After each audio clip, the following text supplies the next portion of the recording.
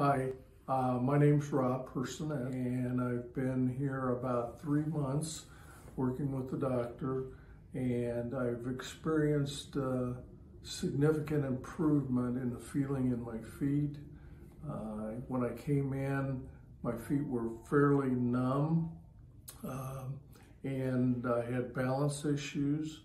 and that has improved as we've gone through the program and I'm looking forward to further improvement and I'm excited with the results today.